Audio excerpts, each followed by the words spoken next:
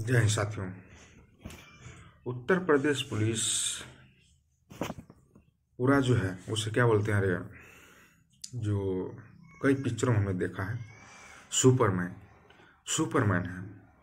वो झारखंड की बात हो, छत्तीसगढ़ की बात हो, या उत्तराखंड की बात हो, कहीं पर भी हो, सुपरमैन की तरह फुर्र से उड़ कर पहुँच जाती है। और पहुँचने के बाद कुछ भी कर सकती है। अच्छा हो या बुरा हो, कुछ भी हो सकता है। बहुत ही अच्छा लगता है। अभी यहीं पर आप देख पा रहे हैं, उत्तराखंड में पहुँची है। मुरादाबाद से जो है, पुलिस पहुँची है और उत्तर, उत्तराखंड के भरतपुर में। उधमपुर के भरत गाँव है, वहाँ पर पहुँची है, जहाँ पर एक निर्दोष महिला की हत्या बताया जा रहा है कि इनके गोलियों के द्वारा हो गई है। मैटर क्या है, मामला क्या है, पूरा विस्तार से जानने की कोशिश करेंगे। मुरादाबाद जो उत्तर प्रदेश का जिला है और उत्तराखंड से सटा हुआ है, यहाँ का एक कुख्यात अपराधी है, जिसका नाम है ज़फ़र।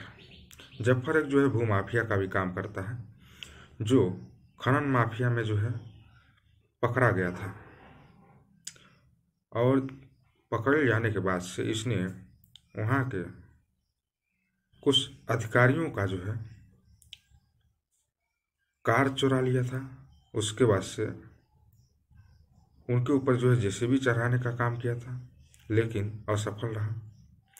इसने जो है उन लोगों के साथ अमानवीय व्यवहार किया था, जिसको जानते हुए उत्तर प्रदेश के सरकार योगी आदित्यनाथ ने तुरंत जो है एक्शन के मूड में आ गई। और यह मामला जो है तेरह सितंबर का है। और तेरह सितंबर से उत्तर प्रदेश की पुलिस उसके पीछे जो है पड़ गई थी। और ये उत्तर प्रदेश में पहले जो है मुरादाबाद में था, कई दिनों तक इधर उधर नहीं पकड़ में आया। और कल जो है ये पहुँच गया उत्तराखंड के भरत भरत, उधमपुर के भरतपुर गाँव में, जहाँ पर यह एक बीजेपी के नेता हैं, जो ब्लॉक प्रमुख हैं। भुल्लर भुल्लर कौन है? उनके घर पहुँच जाता है। अब ये सेटिस्फाई नहीं हो पाया वेरीफाई नहीं हो पाया है कि यह उनके किसी रिलेशन के हिसाब से गया है या जबरन उनके घर में गया है। अभी यह क्लिफाई नहीं हो पाया। है और उत्तर प्रदेश की सुपरमैन पुलिस जो है, सादे ड्रेस में, सादे ड्रेस में पहुँचती है और उधमपुर पुलिस को जो है, यह किसी पुलिस एक जो पुलिस कर्मी को इसकी जानकारी दी जाती है कि हम लोग किसी सीक्रेट ऑपरेशन पर निकले हुए हैं। अभी सारी चीज़ें जो है अभी यह भरतपुर जो गाँव है, वहाँ का जो थाना है, वहाँ भी पहुँचने वाला ही था कि उसके पहले सुपरमैन उत्तर प्रदेश पुलिस का जो कार्यक्रम है, वह शुरू हो गया और जो भुल्लर हैं, उनकी पत्नी है गुरजीत कौर।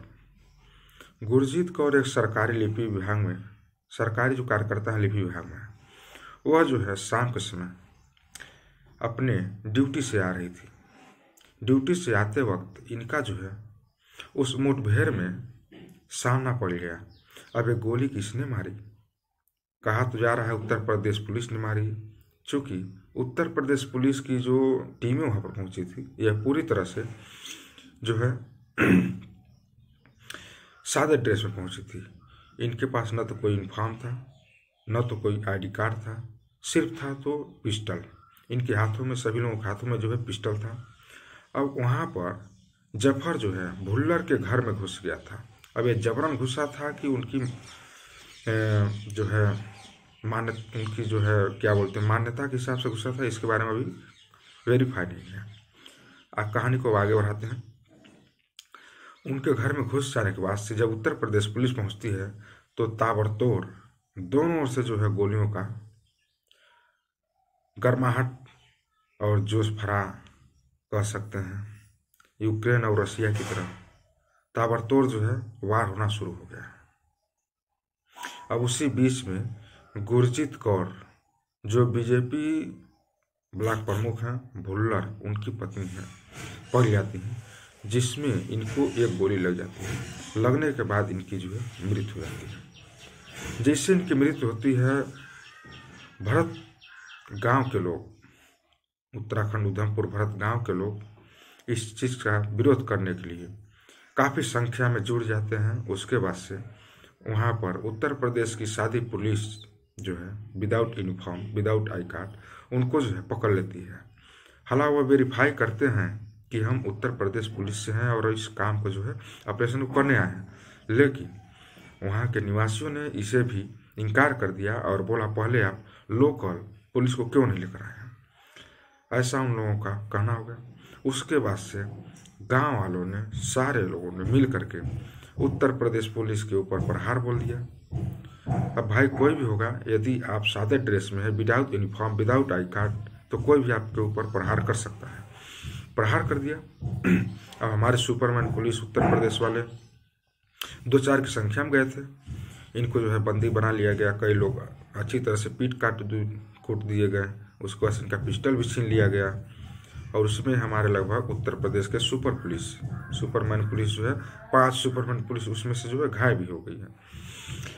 अब जब इनको बंदी बना लिया गया, उसके बाद से जो है मुरादाबाद के एसएसपी को इस बात की जो मंजू सिंह हैं, उनको जो है, उनको जो है इन्फॉर्म किया गया।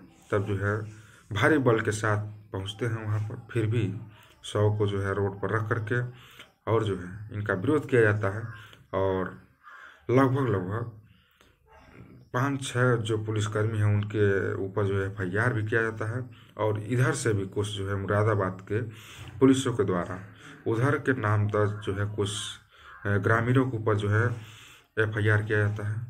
दोनों तरफ़ से इस तरह से जो है मैटर चलते हैं। गए थे अपराधी को पकड़ने, अपराधी तो पकड़ा नहीं, बल्कि एक निर्दोष महिला की हत्या ही हो गई। और ज़फ़र ज़फ़र जो है वहाँ से भाग निकलने में पूरी तरह से फिर से कामयाबी पा लिया। तो ये था उत्तर प्रदेश सुपरमैन पुलिस की कार, कार्रवाई और उत्तराखंड पुलिस की कार्रवाई में उन्होंने साफ़ साफ़ तौर पे बोल दिया कि किसी भी प्रकार से हमें कोई इन्फार्म नहीं दिया गया था और एक सिपाही को इन्फार्म किया गया था, एक बंदे को। अभी वह जब तक पूरे जो है थाने पर इन्फार्म जब तक करता है, उससे पहले जो है इन लोगों का यह क्रियाकलाप हो चुका था। वहाँ के एसएसपी का यह कहना है। तो इस तरह से यह घटनाएँ जो है घटित हो गई और एक निर्दोष महिला मारी गई। कहा गया है संविधान में। सौ गुनहगार छूट जाए, मंजूर है, लेकिन एक बेगुनाह को कभी सजा नहीं होनी चाहिए। अब इस महिला के साथ बहुत ही जो है निंदनी घोरनी अपराध हुआ है, समझ लीजिए। अब ये महिला जो है, भुल्लर की पत्नी है, जो इस समय काफ़ी परिवार सदमे में है और दुख में है। इस दुख की घड़ी में प्रभु उनको संतावना दे, प्रेरणा दे और जो भी न्याय की चीज़ है वो न्याय हो।